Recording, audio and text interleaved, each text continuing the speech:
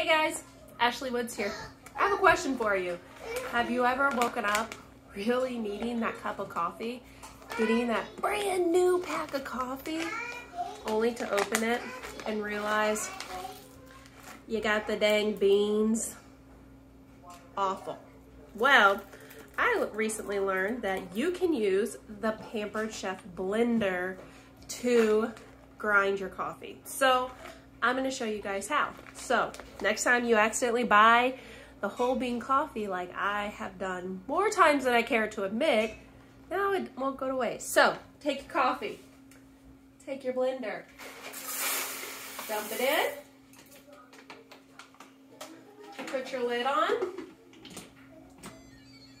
now you're gonna come down here, you're gonna put it on grind.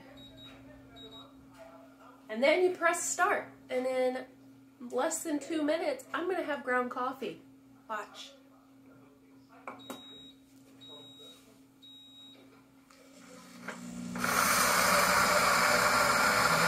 Okay, you ready? It's done. It didn't even take, it took like a minute. And I think I could have stopped sooner. Okay. Can't let any of it go to waste. You gotta tap, tap, tap, tap, tap. Look guys, can you see that?